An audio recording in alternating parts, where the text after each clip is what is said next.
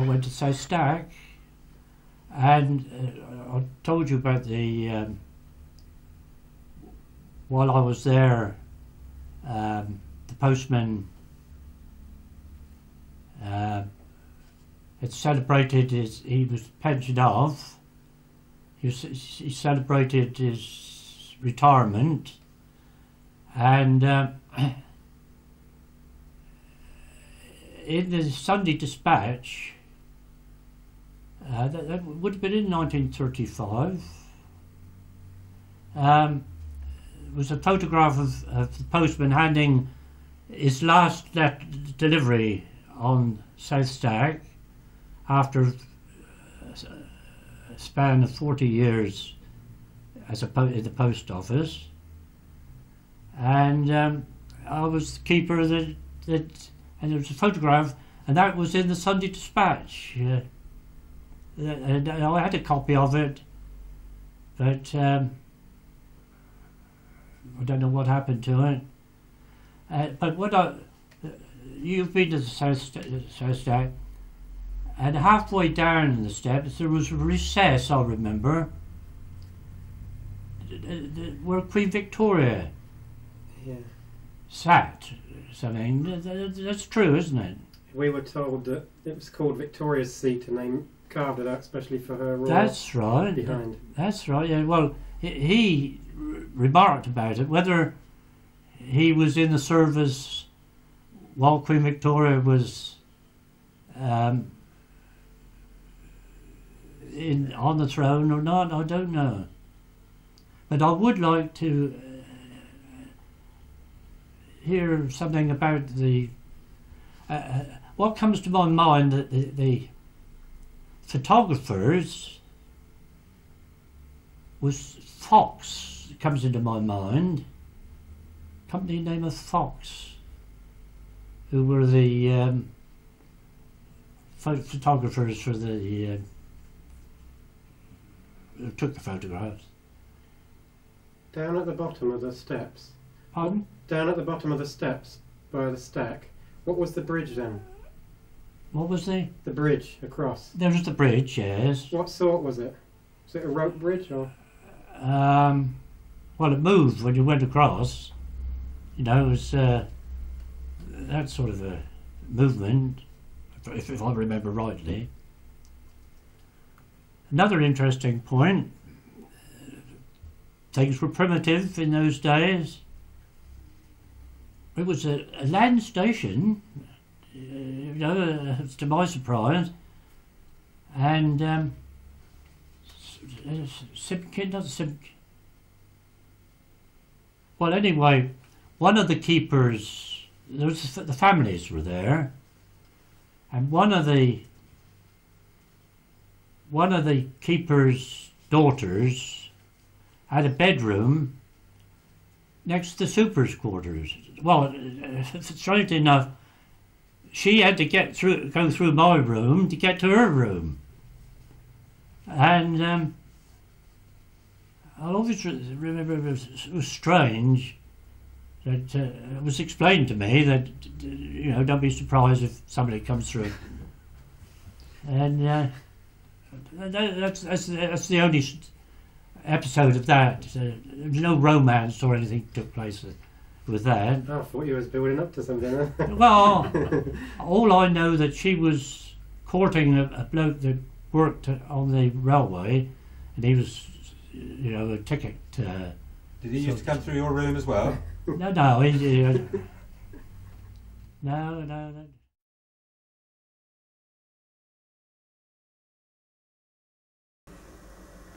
every uh, third day you were having a, on the, on the uh, breakwater and uh, the salt stack. You spent uh, your uh, third day, you, you uh, came in in the morning, but uh, you'd having a day off, but you had to be uh, back on uh, for lighting up, you know, Right. take a watch. Right. So uh, And it was the old uh, paraffin lamps. the old uh, paraffin, uh, pressure, pressurised uh, paraffin. Yeah. And uh, of course, uh, depending on the station, often the uh, weights had to be uh, wound up to keep the uh, lens uh, revolving. Yeah. And then, of course, uh, same with the uh, uh, south uh, stack. You had the uh, the fog on to look after, you know, the compressor and that. Most of the uh, rock stations were explosive uh, uh, type of fog signal.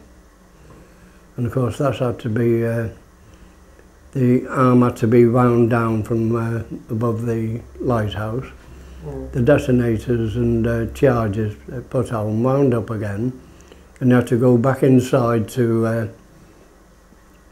wait for a, a, a bell to uh, signal to uh, set the charge off. And then you have to dash out again, wind it down, and uh, put the charges on and everything. And that was all night long if it was fun. All night long it was foggy. Oh, that's been great fun. Oh no. Did, uh, were you ever at South Stack when they had the, um, was it the donkey? Yes, yes, yes. And what, can you explain what the donkey was used for? The donkey was uh, used to uh, come into Holyhead, uh, pick supplies up, uh, uh, your food, uh, anything actually you wanted, and uh, you went back up uh, to take charges up to the North Stack, which was an explosive signal station. Supplied them with the detonations and charges there. Mm. And I take it, um, was it steps down to the South Stack then? or- Ye- yes, yes. And the donkey made Well, uh, uh, years back, seemingly the donkey used to be taken down to the lighthouse, but uh, we used to leave it up at the farm opposite the cafe at the top, Yeah, so that used to stay there. yeah. Hmm. So did you enjoy being on the stack then? Oh yes. they sent me up to South Stack, and then um, I got made principal keeper. Then from there, when they introduced the um, month and month, on, month off, and um, they appointed me principal keeper to Skokholm, and then uh, I spent five years at Skokholm as principal keeper, and then went back to South Stack um, for about two years again. And then um, I went to Skerries, then Skerries Letters for five. And then uh, I went back to South Stack then for about 12 months before it actually went automatic. And then um, I got transferred then to the Wolf Rock and then spent about uh, two years on the Wolf um, and uh, then got transferred up to um, Holyhead Control Centre, the old uh, Holyhead depot here. And uh, by that time, of course, a lot of the lighthouses were automatic, and um, we monitored them in the depot, uh, the North Wales lights in the depot on computers. And, um, and then uh, from uh, spent about five years in the depot, I think it was five. And uh, then in the um, 3rd of October 1994, um, I retired from the service uh, after um, 34 years in the in the job. Uh, that's unbroken service, and uh, of course with the former service I had, it would have been about uh, 36 years. So, um, and that's that's my story, I think. Right, um, if you go back to the beginning, Mm-hmm. You're married with children. Yes. Where did you meet Megan? Oh yes, uh, I met Megan on uh, Stack Lighthouse actually when I um, uh, when um, one Sunday afternoon as a supernumerary in uh, when I was first in the job, and they came down to the Megan and uh, three or four other girls came down to the lighthouse on a Sunday afternoon, and uh, we. Um, we, we were taking photographs outside and um, we, got, we got talking to them and um we invited them in for tea and um, from there we went on and uh, and that was it. I uh, we got married, we got engaged and married eventually. Uh, but uh, the first time I actually saw her was uh, through a telescope at the top of the steps. So um, Was that with L.O. Williams there? yes, uh, Ella Williams was the um, he was the keeper in charge then at that time, and um, uh, it was also uh, there was um, an old PK called Tressel, uh, Cecil Tresice was there as well, and um, uh, Joe Joe Turvey was another was another assistant keeper there, and uh, a supernumerary with me was uh, Simon Reynolds as well. He was there as well, and um, Jack Mayburn then was was um, another principal keeper who was there when I was there again, and um, he was the chap who was taking the uh, photographs when I met uh, Megan, who was um, in the group, I should say, and he, he, he invited the girls to stand in the group and uh, took a photograph of them all. So, uh, and that was it. Um, then we went to um, I went to Smalls after that, and then of course uh, um, we got married. Uh, I left. I left the job then and uh, went into the RAF, and um, I got married on embarkation leave, and um, I um, before going overseas, and uh, we had a short, uh, about two days honeymoon, and um, I never saw Megan again for. Um, about 18 months after we got married. uh, that was it. But at that time we did uh, two months on and a month off, and um, it was quite. It wasn't very nice for married married families, uh, married people uh, at all. It was quite a, a long stint on the on the lighthouse actually. This was my 2019 visit as a tourist. You enter through the kitchen, which is now. This was the old kitchen. Then you go straight into the sitting room. On your left would be the chairs and the tables. And to the right would be the uh, tiny little table with a telly on. That was a spare bedroom in there for a visiting personnel. And straight through, there's the corridor that goes into the engine room ahead of you. To the left now, that's the alcove where the telephone was, and on your right was the bathroom. Swinging round now, you come to a storeroom, and then that little room in there was where the PK was, the principal keeper, his bedroom. Then down this corridor, on your left would be stores and stuff like that, a freezer, and on your right are two keepers' bedrooms.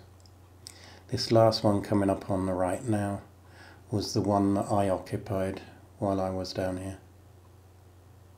Then straight into the engine room. You've got the station batteries on your left and a workbench. Down on the floor in front of you are the alternators for the foghorn and the controls there for the foghorn.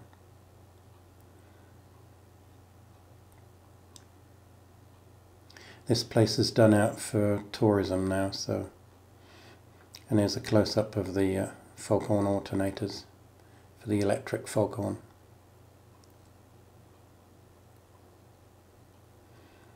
You now have to follow this route round. And coming up on your left is the standby diesel lister.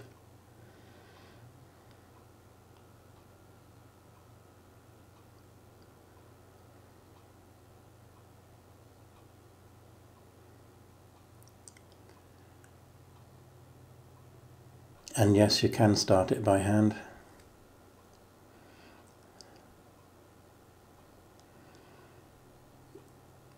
And then in front of you is the control cubicle for that engine.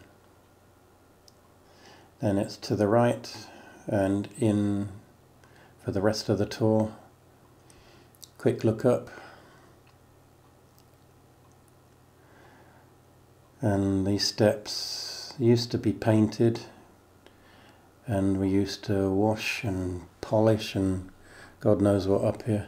The railings were always painted.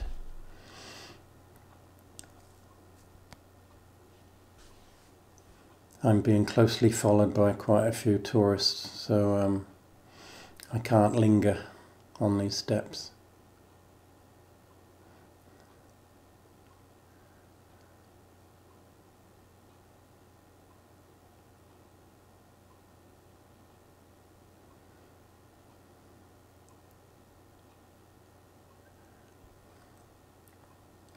Nearing the top, not far to go.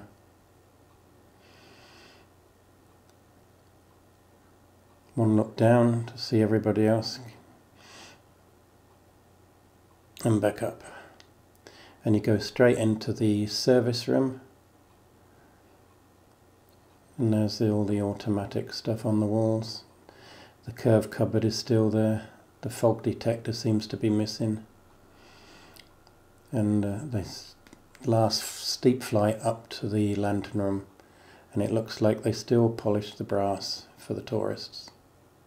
Up in the lantern, there's the emergency battery light now outside on the gallery. There's the North Stack fog signal in the distance there. Now a look up at the lens. Everything's sealed in plastic now, so tourists can't put their fingers in. And inside there is a tiny little bulb, tiny little tube bulb. I don't know what sort it is.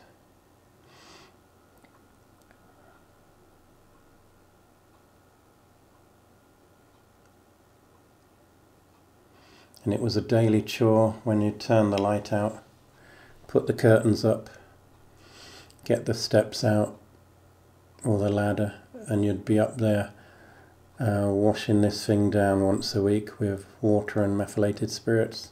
But um, most days you would just wipe it down to get any fingerprints off. A last look from the cliff top steps on the way back up. There's a point where you can stop where you're right on the beam of the light.